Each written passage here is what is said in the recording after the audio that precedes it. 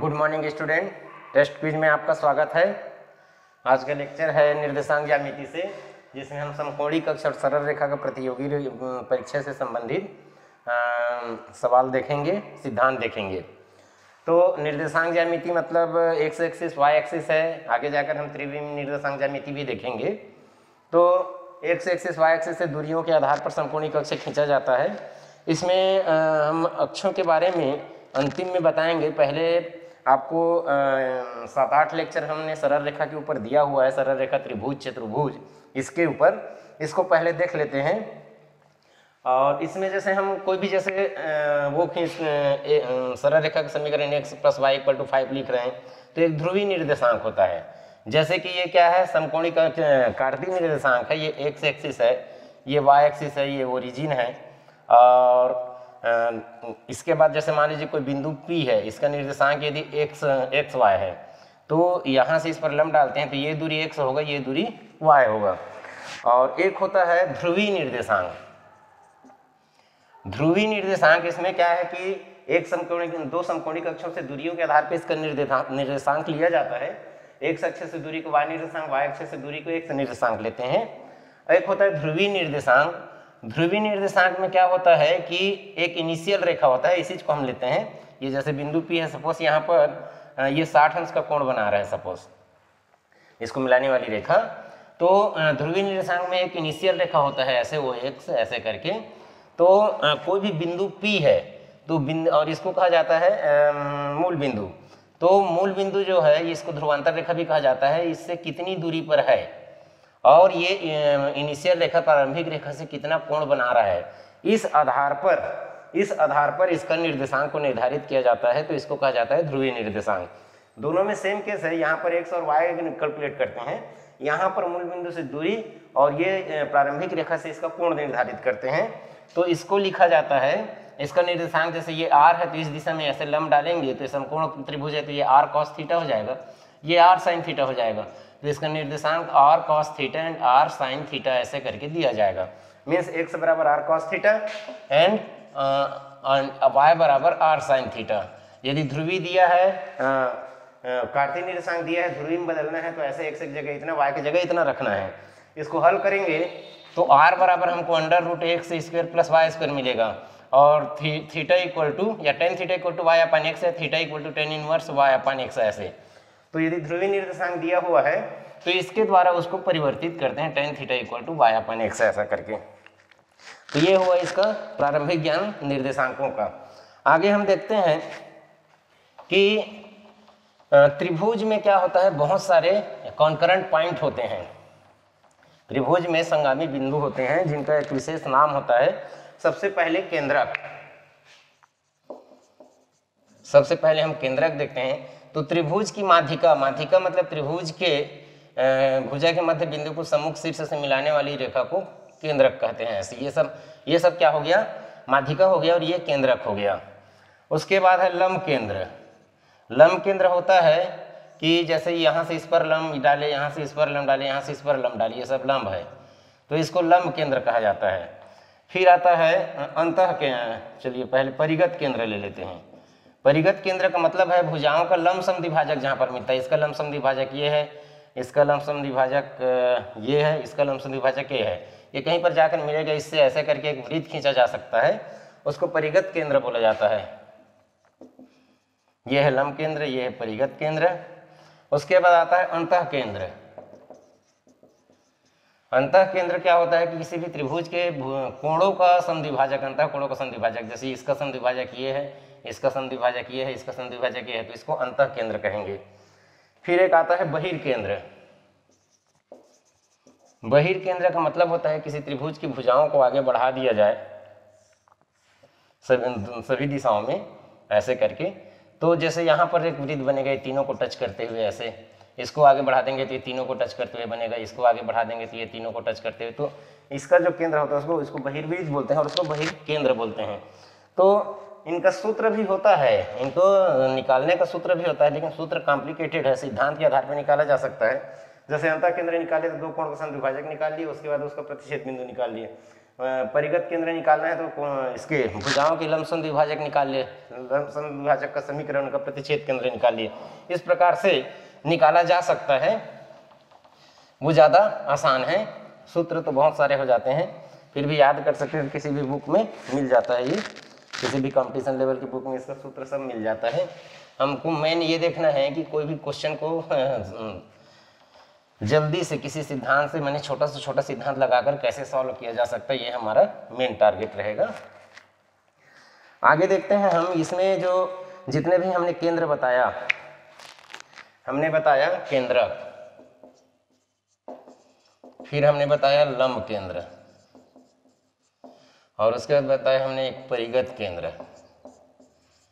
बहिर बहिर केंद्र थोड़ा अलग चीज़ है और होता है अंत केंद्र।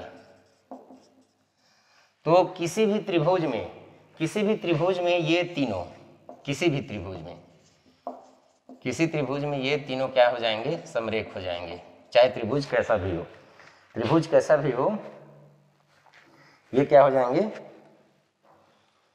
तीनों जो है लंब केंद्र और केंद्रक और परिकेंद्र समद्विबाहु त्रिभुज में अंत केंद्र भी शामिल हो जाएगा। समद्विबाहु त्रिभुज जब लेंगे, इसको लेंगे तो ये सम, पूरे का पूरा जो है समद्विबाहु में हो जाएगा। समद्विबाहु में समरेख होगा ना? ये भी शामिल हो जाएगा। किसी भी त्रिभुज में ये तीनों समरेख होता है और समद्विबाहु त्रिभुज है तो ये चारों समरेख हो जाएँगे।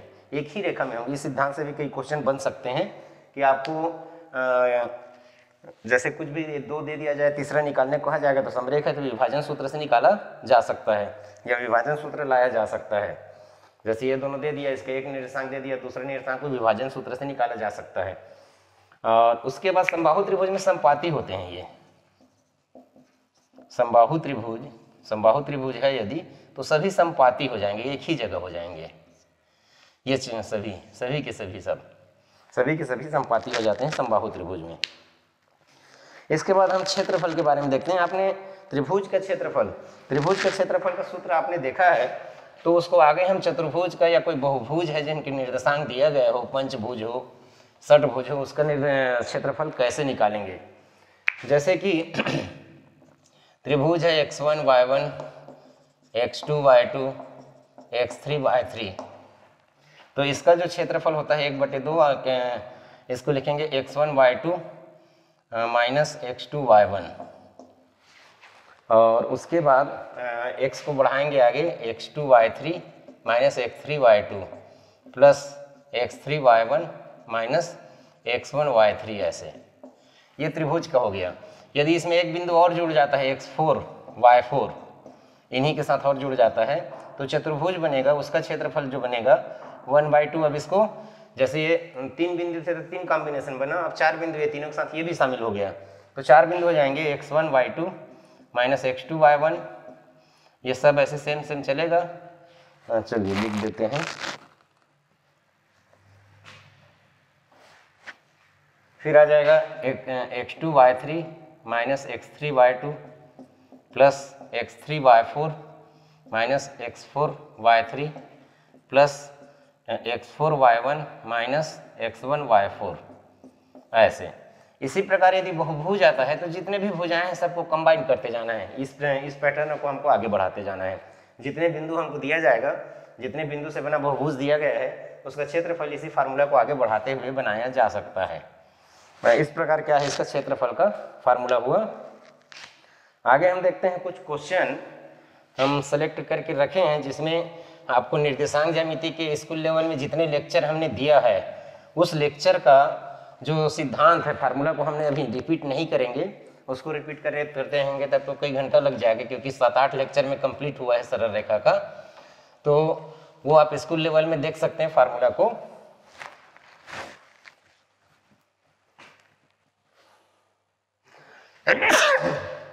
यहाँ पर देखिए, पहला जो प्रश्न दिया हुआ है पहला प्रश्न है, ज़ीरो माइनस वन व ज़ीरो थ्री वर्ग के विपरीत शीर्ष है तो शेष दो शीर्ष ज्ञात कीजिए, बोला है।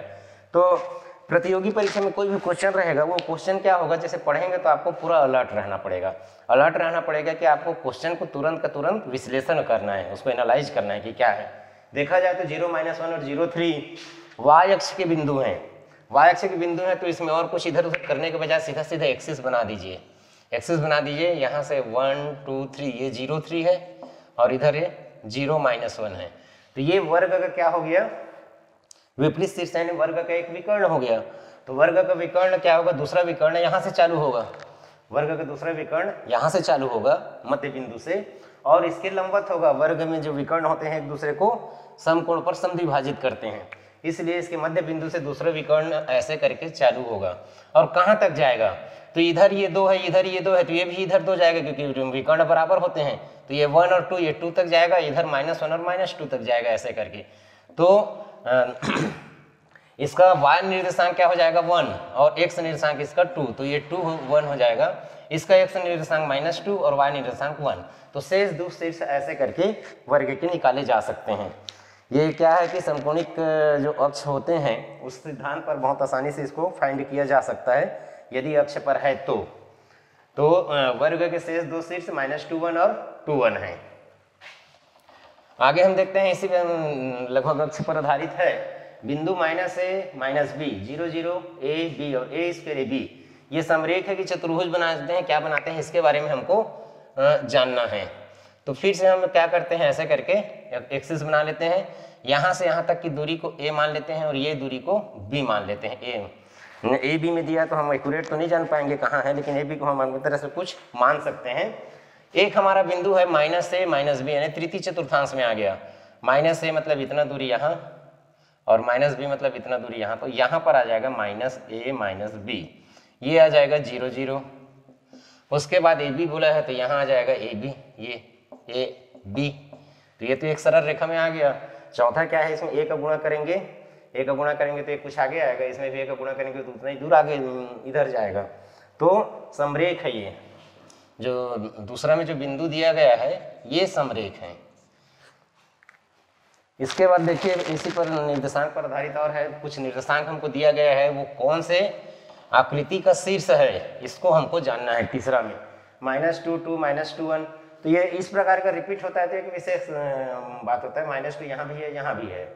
मैंने इसका एक निर्देशांक फिक्स है, एक लाइन जो वाई अक्ष के समांतर है। और यहाँ टू है तो यहाँ भी टू है तो ये वाई फिक्स है तो एक अक्ष के समांतर है ऐसे करके हम इसको जान सकते हैं। ये देखिए समकोणी कक्ष बना देते हैं। डिस्टेंस फार्मूला से जाना जा सकता है कि वर्ग है कि सम चतुर्भुज है कि समांतर चतुर्भुज है। लेकिन हमको सिर्फ़ आंसर जानना है प्रूफ नहीं करना है। तो minus two two, minus two और इतना दूरी को टू ले लेते हैं ऐसे करके तो माइनस टू टू यानी ये हो गया, minus two two Y plus और ये, फिर दिया माइनस टू वन तो एक सम, माइनस टू टू और माइनस टू वन तो ये यहाँ पे आ जाएगा, इसके आधे में, माइनस टू वन, फिर आ जाएगा three minus one X three और वाई माइनस वन तो ये नीचे आ गया। इसमें कुछ मिस्टेक हुआ है लिखने में। ये माइनस वन होना चाहिए सॉरी तब ठीक होगा। माइनस टू माइनस वन ये तो रिपीट हो रहा है, ये लिखते समय इसको थोड़ा वो किए हैं। माइनस टू माइनस वन करेंगे तो ये नीचे में आ जाएगा, आधे बीच पे ऐसे। माइनस टू माइनस वन उसके बाद थ्री माइनस वन तो एक्स थ्री और वाई माइनस वन तो ऐसा करके इधर आ जाएगा। थ्री माइनस वन उसके बाद आ गया है थ्री टू तो एक्स थ्री और वाई टू तो ऐसा करके आयत बन जाएगा। ये जो तीसरे नंबर में प्रश्न है, उसका ये आयत बनाएगा। नेक्स्ट देखते हैं। इस प्रकार का सिमेट्री जो दिया है ए बी प्लस सी और बी सी प्लस ए इसको आप ट्वेल्थ में यदि सारणिक पढ़ेंगे तो बहुत आसानी से जान सकते हैं। इसका क्षेत्रफल निकालेंगे तो ज़ीरो आ जाएगा। इसका क्षेत्रफल निकालेंगे ज़ीरो आ जाएगा। इसमें सिमिट्री है तो A B plus C B C plus A C A plus B लिखना भी चाहें तो देख लो। एक बटे दो X one A Y two minus Y three C plus A minus A minus B X two मतलब B Y three A plus B minus Y two यानी minus B minus C plus X three Y one B plus C minus C minus A ये इसका क्षेत्रफल है तो इसमें ए cut गया, इसमें बी कट गया, इसमें सी कट गया। One upon two A C minus A B ये है A B minus B C, इसमें आ जाएगा बी सी माइनस ए सी तो ये ज़ीरो हो गया। मतलब ये समरेख बिंदु है, इनसे बने त्रिभुज का क्षेत्रफल ज़ीरो है। ये है प्रश्न क्रमांक चार का। नेक्स्ट देखते हैं पांचवा में। त्रिभुज के दो शीर्ष चार, तीन व ऋण दो पाँच है, तथा लंब केंद्र एक, दो है तो तीसरा शीर्ष होगा। ये थोड़ा लंबा क्वेश्चन हो सकता है, कोई भी एक त्रिभुज है, ऐसे करके। इसके दो शीर्ष है, एक है इधर चार, तीन। और इधर ये है ऋण दो, पाँच। तीसरा शीर्ष हमको निकालना है, जबकि लंब केंद्र दिया है इस पर डालेगा, लंब डालेंगे तो यहाँ पर कहीं पर एक जगह आएगा लंब केंद्र। ये लंब केंद्र हमको दिया है वन टू। तो तीसरा शीर्ष हो जाएगा एच के। तो यहाँ लंब केंद्र होगा तो यहाँ से भी लंब डाल देते हैं ऐसे करके। ये भी लंब है, ये भी लंब है। ये ए है, ये बी है, ये सी है, ये डी है ये ई e है। तो हमको एच के को फाइंड करना है। एच के को फाइंड करना है तो देखिए, ये लंब केंद्र है तो ये दोनों बिंदु के द्वारा इसका प्रवणता निकाला जा सकता है, ये दोनों बिंदु के द्वारा इसका प्रवणता निकाला जा सकता है और ये दोनों लंब है। इनके लंबों का गुणनफल प्रवणताओं का गुणनफल माइनस वन हो जाएगा। और उसके बाद इससे प्रवणता और इससे प्रवणता निकालेंगे, इन दोनों से इसकी प्रवणता।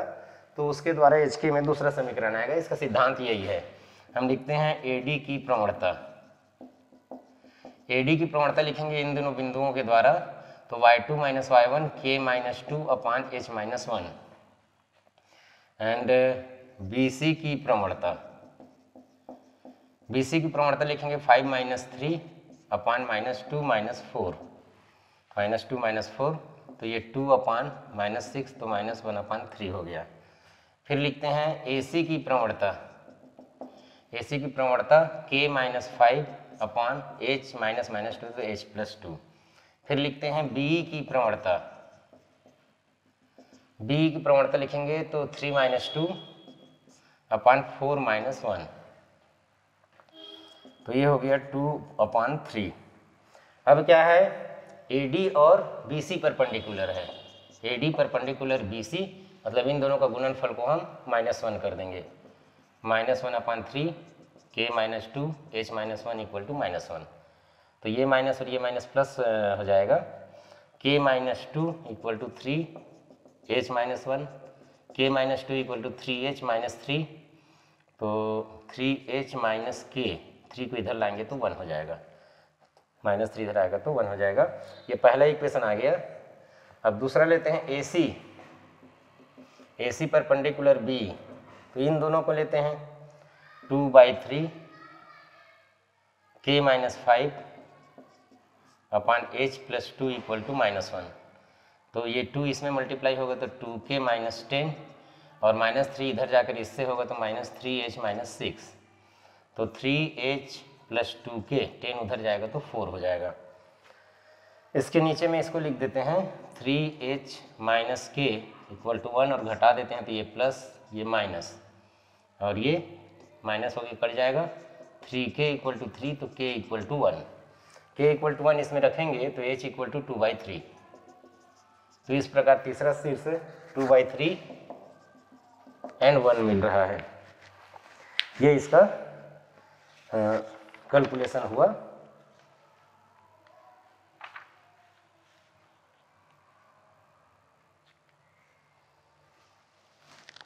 नेक्स्ट देखते हैं, ये इसका सिद्धांत है। आ, आगे देखिए।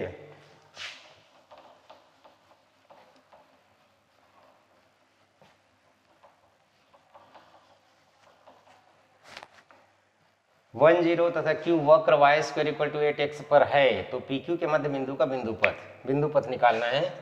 जैसे पी तो हमको वन ज़ीरो दिया हुआ है और क्यू जो है हम एच के मान लेते हैं और ये एक वक्र है। इस वक्र पर दोनों हैं। Y square equal to eight x मतलब क्या होगा? अच्छा क्यू बस वक्र पर है पी नहीं है। क्यू वक्र पर है पी नहीं पी वन ज़ीरो तो संतुष्ट करेगा नहीं। तो पी अपना इंडिपेंडेंट पॉइंट है और एक क्यू है ऐसे जो इस वक्र पर है, मान लीजिए। Y square equal to eight x पर। तो इसका ये हम क्यू के निर्देशांक यदि एच के मानते हैं तो इसको फॉलो करेगा k square equal to eight h हो जाएगा। वाई की जगह के रखेंगे। अब इसका मध्य बिंदु निकालेंगे तो one plus h upon two and k upon two हो जाएगा। अब इसका बिंदु पथ निकालना है तो इसी को हमको अल्फ़ा बीटा मान लेना है। One plus H upon two equal to alpha तो H equal to two alpha minus one and K by two equal to beta तो के इक्वल टू टू बीटा अब इसमें रख देते हैं।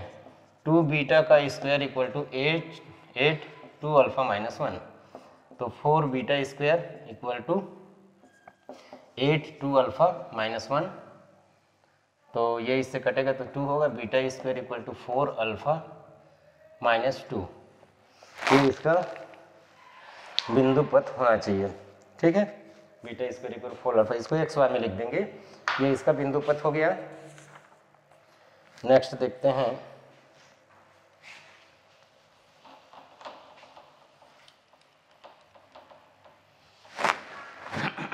सातवां प्रश्न है। पाँच एक्स ऋण वाई बराबर एक।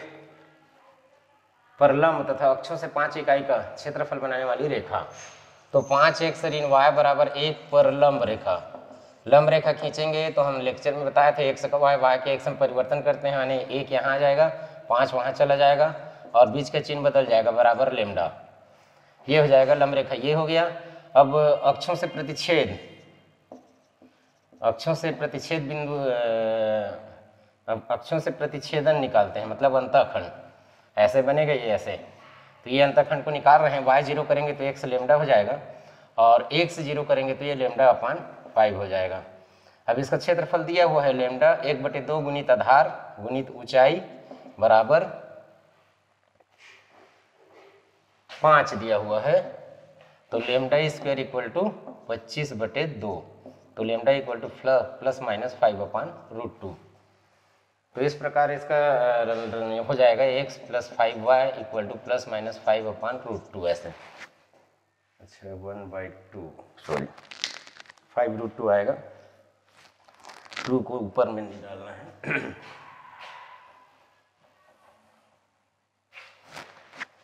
ये लेमडा इसका, ये पाँच में पच्चीस और दो भी जाएगा तो ये पचास हो जाएगा तो lambda equal to five root two हो जाएगा प्लस माइनस तो समीकरण हो जाएगा x plus five lambda equal to plus minus five root two ये इस रेखा का समीकरण होगा। नेक्स्ट देखते हैं।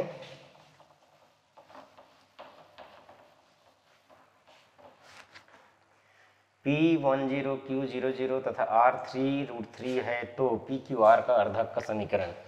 देखिए, जब ज़ीरो ज़ीरो वगैरह ज़्यादा आता है तो कोऑर्डिनेट एक्सिस में ले लेना ज़्यादा अच्छा होता है। इसे लेंगे तो इसमें कॉर्नेट एक्सिस लेंगे और अर्धक का समीकरण का सूत्र लगा लेंगे। जैसे ये ज़ीरो ज़ीरो है क्यू क्यू ज़ीरो ज़ीरो है और पी है वन ज़ीरो है माइनस वन ज़ीरो ऐसे। यहाँ से यहाँ तक वन है तो यहाँ से यहाँ तक थ्री होगा। तो आर जो है ऐसे करके थ्री रूट थ्री इधर कहीं पर आएगा। इधर कहीं पे। थ्री थ्री रूट थ्री तो ऐसे करके ये हो गया, इस कोण का अर्धक का समीकरण हमको निकालना है। तो एक तरीका ये है, एक तरीका ये है कि इसका समीकरण निकाल लेते हैं, इसका समीकरण निकाल लेते हैं और उसके अर्धक का समीकरण का सूत्र लगा देते हैं। दूसरा तरीका ये है कि ये मूल बिंदु से जाने वाली रेखा है क्यू आर तो इसकी प्रवणता निकाल लेते हैं। क्यू आर की प्रवणता क्यू आर की प्रवणता हो जाएगा tan theta equal to three root three upon three y two minus y one upon x two minus x one तो रूट थ्री में मतलब ये कोण साठ अंश हो गया। ये कोण साठ अंश हो गया तो ये कोण क्या हो जाएगा? 120 अंश। तो इसका अर्धक जो होगा ऐसे करके मतलब इधर साठ और इधर साठ तो अर्धक जो होगा, एक तो मूल बिंदु से जाएगा, ज़ीरो ज़ीरो से जाएगा, और कितना कोण बनाएगा? साठ साठ, एक सौ बीस का कोण बनाएगा। तो उसका समीकरण हो जाएगा वाई इक्वल टू एम मतलब टेन, एक सौ बीस एक्स माइनस एक्स ज़ीरो तो y equal to minus root three x हो जाएगा। अर्धक का समीकरण पर जाएँगे तो बहुत लंबा हो जाएगा। ये हमने इसका क्या किया? प्रवर्तन निकाला तो साठ आया इस रेखा का।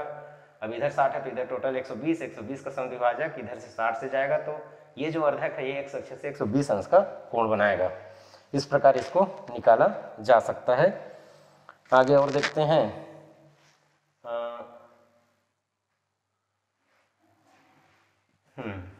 ये हो गया आठवां। नौवा देखते हैं।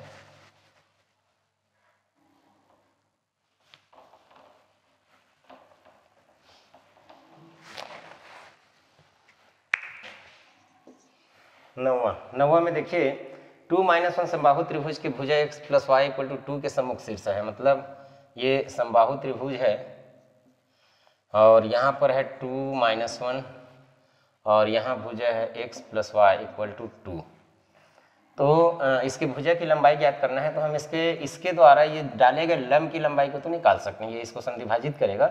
इसकी भुजा ए है तो ये वाला ए बाई टू ये वाला ए बाई टू हो जाएगा। यहाँ से इस पर डाला गया लम्ब निकालते हैं तो two plus minus one minus two upon under root one square plus one square आएगा। एक से सामने वन है वाई के सामने वन है।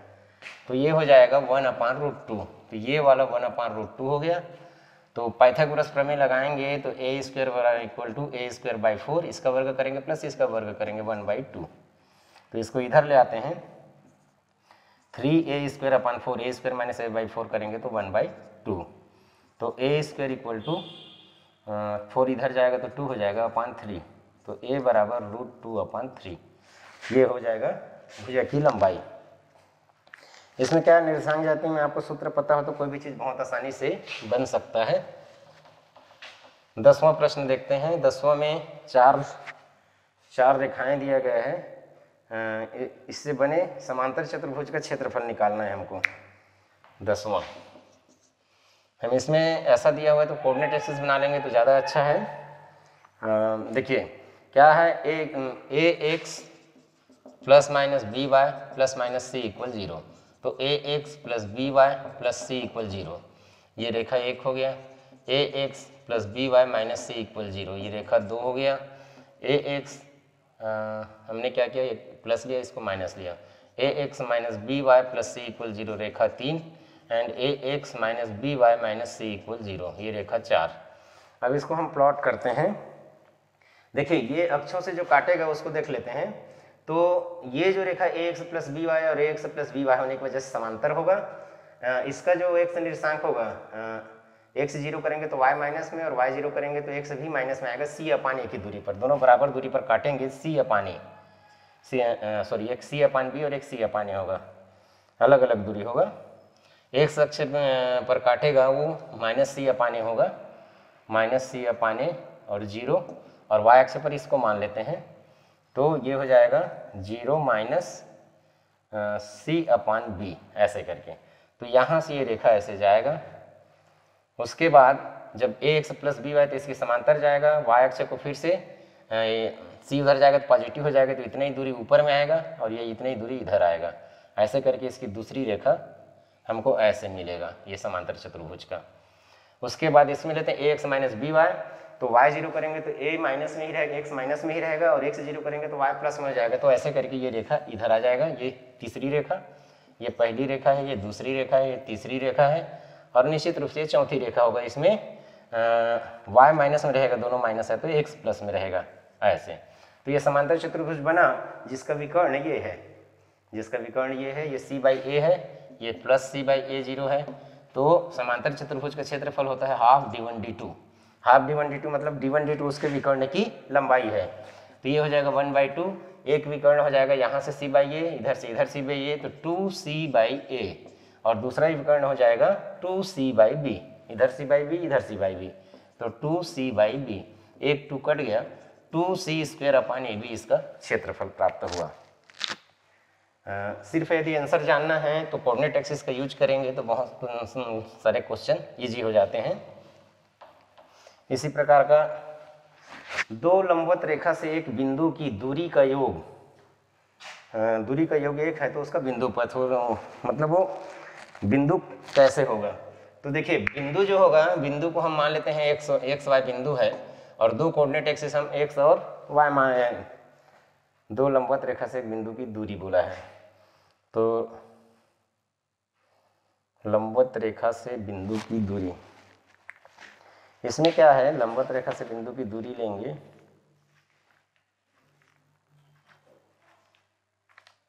अच्छा दूरी का योग बोला है।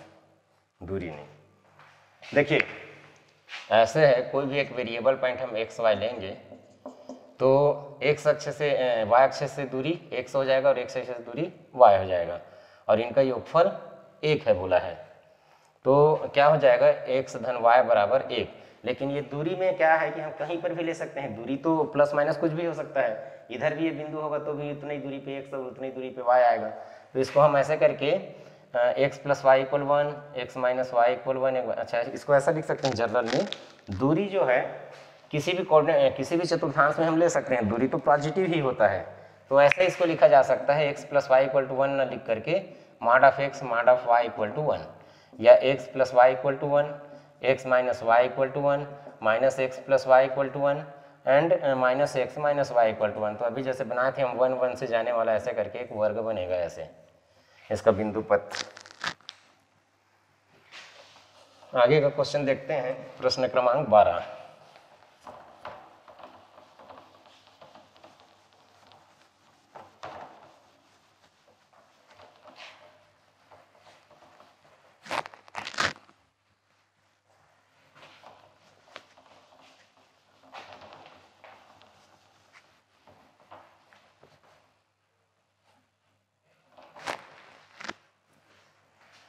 एम के पूर्णांक मानों की संख्या जिसके लिए रेखाओं three x plus four y equal to nine. Three x plus four y equal to nine and y equal to m x plus one. का प्रतिच्छेद बिंदु का एक निर्देशांक पूर्णांक हो। माने एम के कितने पूर्णांक मान होंगे? जबकि इनका प्रतिच्छेद बिंदु का एक निर्देशांक निकालेंगे, वो पूर्णांक में प्राप्त होगा। तो y equal to m x plus c रख देते हैं। Three x four m x plus one equal to nine three x plus four m x plus four equal to nine x common लेंगे तो three plus four m equal to five four इधर आएगा तो x equal to five three plus four m ये ऐसा हमको मिला तो एक्स पूर्णांक कब होगा? एक्स पूर्णांक कब होगा उसको देखते हैं। तो एक्स पूर्णांक होने के लिए या तो इधर वन माइनस वन हो जाए या ये फाइव माइनस फाइव हो जाए। एक्स के पूर्णांक होने के लिए three plus four m three plus four m equal to या तो वन होगा वन होगा तो ये फाइव हो जाएगा एक्स या तो माइनस वन होगा, जब ये माइनस वन होगा तो माइनस फाइव हो जाएगा, तब भी पूर्णांक है। या तो ये फाइव हो जाए तो ये वन हो जाएगा, या तो ये माइनस फाइव हो जाए तो ये माइनस वन हो जाएगा। तो एक्स के पूर्णांक होने के लिए ये कंडीशन है। तो सब में से हम थ्री माइनस कर देते हैं। इधर थ्री है तो four m equal to three minus करेंगे तो ये माइनस टू हो जाएगा, ये माइनस फोर हो जाएगा। थ्री माइनस करेंगे तो ये टू हो जाएगा और ये माइनस एट हो जाएगा। उसके बाद चार से भाग दे देते हैं। तो minus two upon four, minus four upon four, two upon four, minus eight upon four. तो ये minus one by two, minus one one by two, minus two. तो एम के दो मान हैं। एम के दो पूर्णांक मान हैं, जिसके लिए एक्स एक्स तो चार जगह पूर्णांक हो रहा है, लेकिन उसके लिए एम का दो पूर्णांक मान माइनस वन और माइनस टू हमको मिल रहा है। एम के पूर्णांक मान दो हैं। ये हुआ बारहवा प्रश्न। नेक्स्ट देखते हैं तेरवा फलन cos x cos x plus two minus cos square x plus one का ग्राफ ये फलन दिया हुआ है तेरवा में। इसका ग्राफ क्या होगा? Cos x cos x plus two minus cos x square plus one अब इसको सिंप्लीफाई करना है हमको। इसको सिंप्लीफाई करना है हमको। हमको सिंप्लीफाई करना है तो जैसे इसको भी वन के टर्म्स में लाते हैं, जैसे ये है कॉस एक्स इसको लिख सकते हैं cos x plus one plus one ऐसे। इसको लिख सकते हैं cos x plus one minus one minus cos square x plus one तो cos square a minus cos square b equal to cos sorry cos a plus b cos a minus b equal to cos square a minus sine square b ऐसा होता है त्रिकोणमिति में। ये आ गया है, इतना ए है, इतना बी है। तो इसको हम लिख सकते हैं cos square x plus one minus sine square one minus cos square x plus one तो ये जो फलन एफ़ एक्स है, ये आ गया, ये कटा तो माइनस साइन स्क्वेयर वन तो ये क्या है? कांस्टेंट फलन है, इसमें एक का मान नहीं है एक का मान नहीं है, लेकिन क्या है? एफ़ एक्स यानी एक से बराबर है ये। तो वाई अक्ष के समांतर वाई अक्ष के समांतर सरल रेखा है ये, जो यहाँ से जाएगा। ठीक है? एक से परिभाषित है इसका। इसलिए। वाय का मान कुछ भी रखें, एक से का मान, वही मिलते रहेगा तो वाय अक्ष के समांतर हमको सरल रेखा मिलेगा। आगे देखते हैं प्रश्न क्रमांक चौदह। वन, टू से किस दिशा में रेखा खींची जाए कि वन, टू से खींचना है और x plus y equal to four से प्रतिच्छेद करेगा? से प्रतिच्छेद करेगा तो इसकी दूरी root root six upon three तो ये सरल रेखा का जो सम्मित रूप है, उसका है डायरेक्ट पढ़ने से पता चलता है।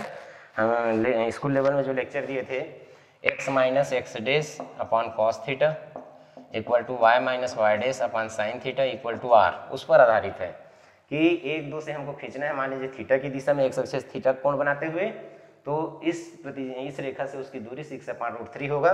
तो ये हो जाएगा x minus one upon cos theta equal to y minus two upon sine theta equal to दूरी है रूट सिक्स अपॉन थ्री तो एक्स इक्वल टू निकालेंगे तो one plus root six upon three cos theta आ जाएगा। और y equal निकालेंगे तो minus ये, ये इधर पहले जाएगा फिर माइनस टू जाएगा तो two plus root six upon three sine theta हो जाएगा। अब इसमें रख देते हैं। अच्छा इसमें आर भी आएगा। अच्छा आर की जगह तो लिखे हैं। ये एक सौ इसका प्रतिशत बिंदु है तो इसको संतुष्ट करेगा। हमने क्या किया? सम्मित समीकरण से इस यहाँ पर जो प्रतिच्छेद बिंदु है, उसका निर्देशांक हमने निकाल लिया। अब इसमें रख देंगे। तो ये हो जाएगा one plus root six upon three cos theta, two plus root six upon three sine theta equal to four. One और टू उधर जाएगा तो वो फोर वन हो जाएगा। थ्री जाएगा तो थ्री हो जाएगा। Root six cos theta, root six sine theta equal to three. पहले वन, टू को ट्रांसफ़र करेंगे, फोर माइनस थ्री, वन, फिर ये थ्री को ट्रांसफ़र करेंगे तो थ्री। रूट सिक्स करते हैं cos theta plus sine theta equal to three upon root six. अब इसको एंगल निकालने के लिए साइन थीटा, कॉस थीटा अलग अलग है तो इसको हम क्या करते हैं, वन अपान रूट टू का दोनों साइड गुना कर देते हैं। One upon root two, one upon root two, one upon root two. तो ये हो जाएगा कॉस थीटा कॉस पैंतालीस, धन साइन थीटा साइन पैंतालीस। कॉस ए माइनस बी का फार्मूला लगा देंगे और ये कितना हो जाएगा? इसमें का रूट टू निकलेगा, ये रूट टू तो नीचे में तो टू आ जाएगा, इसमें का तो रूट थ्री से थ्री कटेगा तो रूट थ्री बाई टू हो जाएगा। ये बन गया कॉस ए माइनस बी और ये रूट थ्री बाई टू है मतलब कॉस थर्टी डिग्री तो थीटा माइनस पैंतालीस डिग्री बराबर थर्टी डिग्री तो थीटा इक्वल टू पचहत्तर डिग्री पचहत्तर डिग्री के एंगल पे हमको खींचना होगा।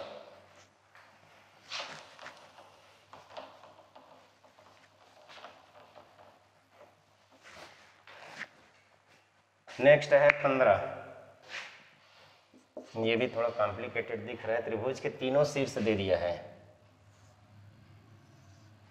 त्रिभुज के तीनों शीर्ष दिया हुआ है। One one A B four minus two and C five five. और सी से ए के अंतर समद्विभाजक मैंने इसके कोण का अंतर समद्विभाजक हम लेते हैं। ये कोण को बराबर ये डी है मान लीजिए। अब इस पर लंब का समीकरण, इससे इस पर लंब डालना, इसको आगे बढ़ाते हैं। इससे इस पर ऐसे लंब डालेंगे तो इसका समीकरण हमको निकालना है। इसका समीकरण हमको निकालना है। तो एक तरीका ये है कि यदि संधिभाजक का समीकरण निकाल लें तो बन जाएगा, लेकिन संधिभाजक का समीकरण निकालने के लिए ये दोनों को रेखा का समीकरण चाहिए। अच्छा नहीं, ये ये बिंदु को निकाला जा सकता है।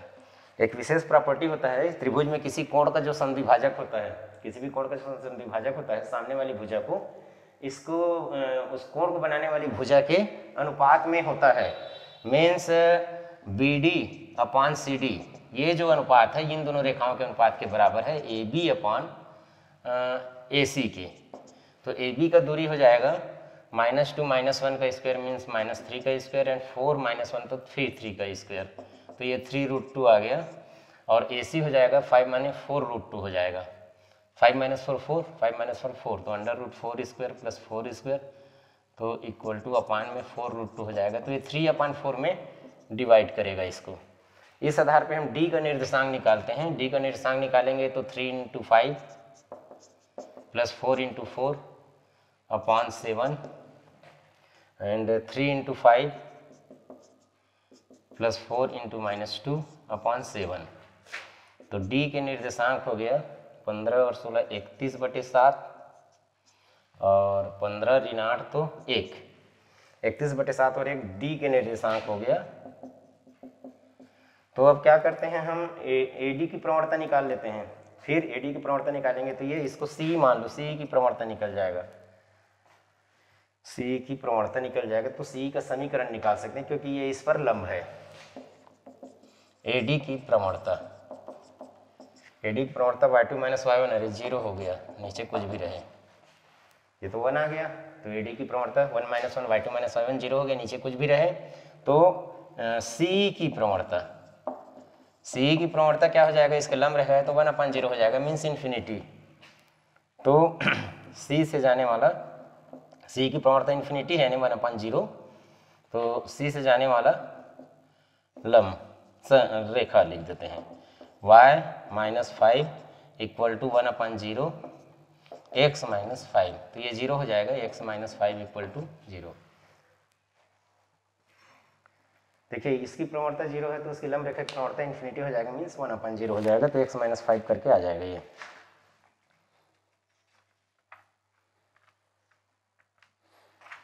नेक्स्ट क्वेश्चन देखते हैं। ये था पंद्रह।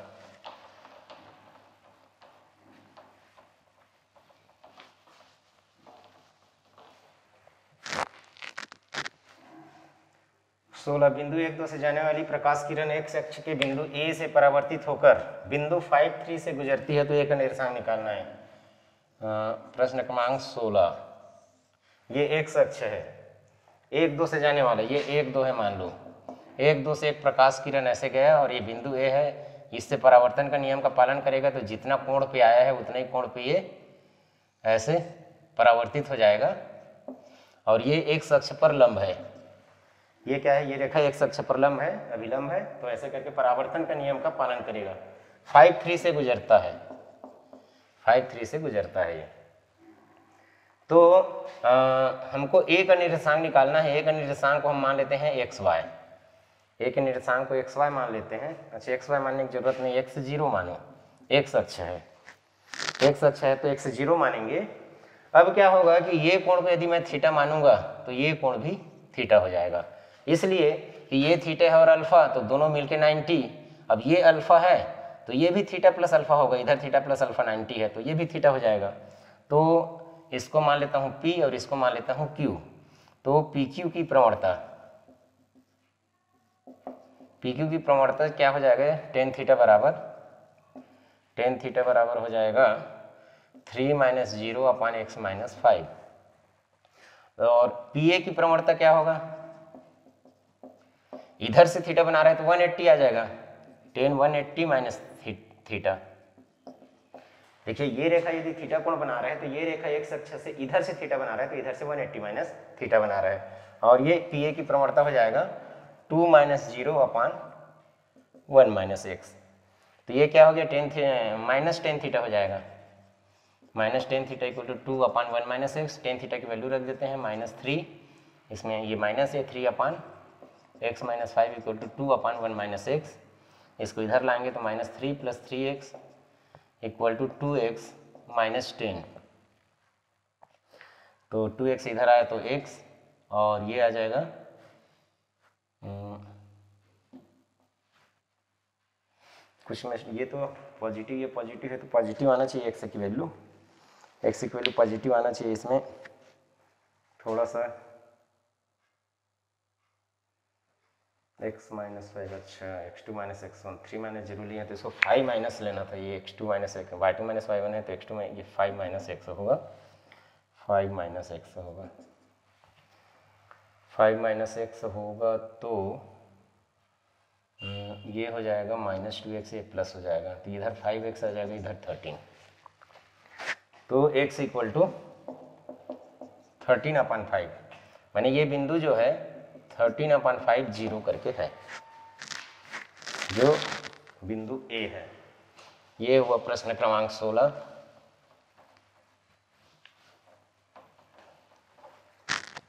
प्रश्न क्रमांक सत्रह समांतर चतुर्भुज के विकर्ण। ये और इसके अनुदिश है तो वो होगा। चलिए सिंपल है सत्रह जो है।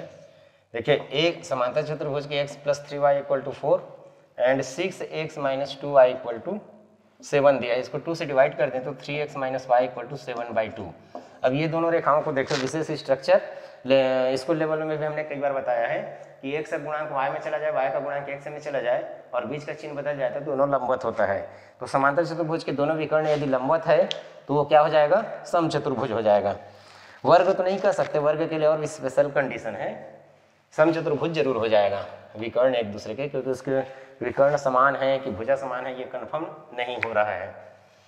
प्रश्न क्रमांक अठारह, बिंदुओं एक ज़ीरो, तथा two cos theta two sine theta को मिलाने वाली रेखा को दो अनुपात तीन, दो अनुपात तीन में विभाजित करता है, उसका बिंदु पथ पूछा है। तो पहले तो दो अनुपात तीन में विभाजित करने वाला इसका इससे मल्टीप्लाई होगा तो four cos theta plus four cos theta plus three upon five एक से निर्देशांक हो गया। इसका इससे करेंगे तो four sine theta plus zero three into one किए थे, ये थ्री इंटू ज़ीरो करेंगे, अपॉन फाइव ये हो गया इसका निर्देशांक, जिसका हमको बिंदु पथ निकालना है। तो बिंदु पथ निकालना है तो इसको एक से इक्वल और इसको वाई के इक्वल करेंगे और साइन थीटा कॉस थीटा का मान निकाल करके उसको कैंसिल करेंगे थीटा को। तो four cos theta plus three upon five equal to X तो four cos theta equal to five X minus three या कॉस थीटा इक्वल टू या फोर कॉस थीटा ही रहने दीजिए। ये हो जाएगा four sine theta upon five equal to Y four sine theta equal to five Y दोनों के सामने में फोर फोर है तो स्क्वायर करके जोड़ेंगे तो इजी हो जाएगा। Sixteen cos square theta plus sixteen sine square theta equal to five minus A five five X minus three का स्क्वायर प्लस फाइव वाई का स्क्वायर तो ये वन हो जाएगा सिक्सटीन कॉमन आएगा तो इधर सिक्सटीन हो गया। ये हो गया ट्वेंटी फाइव एक्स स्क्वायर पाँच तीन पंद्रह, तीस एक्स धन नौ, धन पच्चीस वाई स्क्वायर ऐसे इसका समीकरण आ गया। इसमें एक्स वाई का पद नहीं है और एक्स वर्ग और वाई वर्ग गुणांक समान है, इसीलिए वृत्त है। ये हो गया पच्चीस एक्स स्क्वायर धन पच्चीस वाई स्क्वायर एंड आगे जाकर के वृत्त का हमें ये लेक्चर अभी वृत्त के लेक्चर अटेंड करेंगे तो समझ में आ जाएगा, क्योंकि बिंदु पर पूछा है तो। ये जो क्वेश्चन है आपको आगे वृत्त का लेक्चर जब सुनेंगे स्कूल लेवल में तो समझ में आएगा अच्छे से। ये इक्वल टू सेवन आ जाएगा। ये वृत्त का समीकरण है, इसमें एक्स वर्ग वाई वर्ग गुणांक बराबर है और एक्स वाई का पद नहीं है, इसलिए। आगे हम देखते हैं कुछ इसमें और क्वेश्चन सिर्फ़ सूत्र पर आधारित है। अक्षों का परिवर्तन। अक्षों का परिवर्तन कैसे होता है उसको देखते हैं।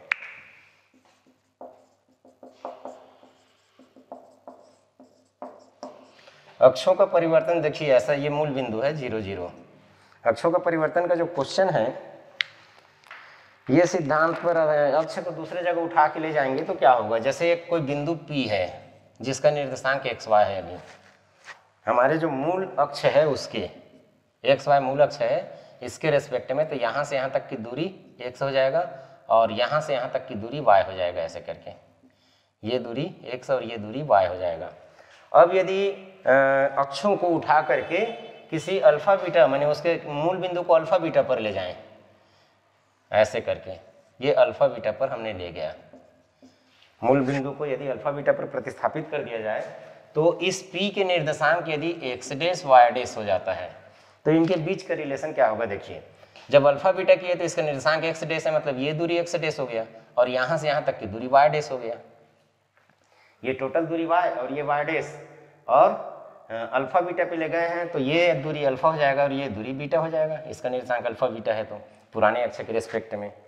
तो अब इनके बीच में रिलेशन दिख रहा है पूरा। यहाँ से यहाँ तक एक्स है, यहाँ से यहाँ तक एक्स डेस है और ये अल्फ़ा है।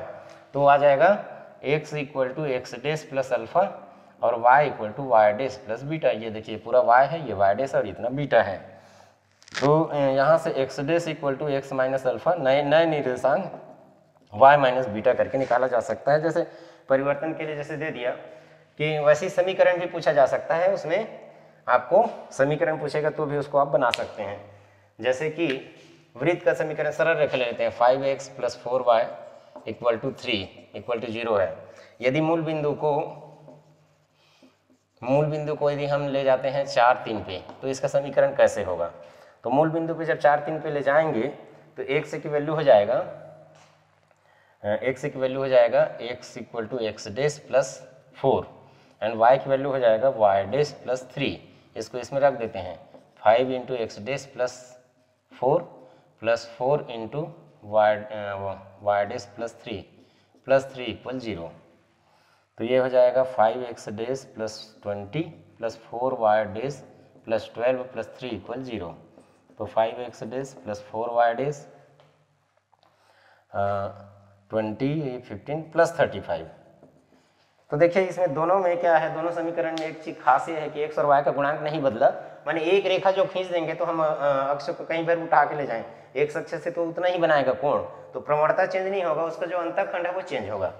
एक्स अंतखंड वाई अंतखंड चेंज होगा, अचर पद उसमें बदलेगा।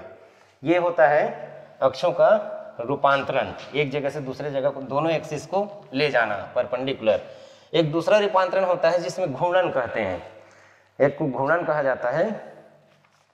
तो घूर्णन में क्या होता है कि मूल बिंदु वहीं पे रहेगा। मूल बिंदु वहीं पे रहेगा और इसको किसी कोण से ऐसे घुमा दिया जाएगा। ऐसे करके। ऐसे। इधर एक्स है, इधर वाई है। अब ये थीटा कोण से इसको घुमा दिए। थीटा कोण से घुमा देंगे तो जो नया निर्देशांक मिलेगा, कोई भी बिंदु पी का पी पर है, पुराना निर्देशांक एक्स वाई है तो ये थीटा पे डिपेंड करता है। जो एक्स डेस होता है, वो होता है X X cos theta plus Y sine theta and Y dash जो होता है, ये होता है minus X sine theta plus Y cos theta इस सूत्र में मान रख करके निकाला जा सकता है। तो इस प्रकार क्या हुआ? अभी सरल रेखा का, हमने सरल रेखा और अक्षों का बारे में प्रतियोगी लेवल का ये लेक्चर देखा हम। आगे हम देखेंगे फिर वृत्त वगैरह के बारे में। धन्यवाद।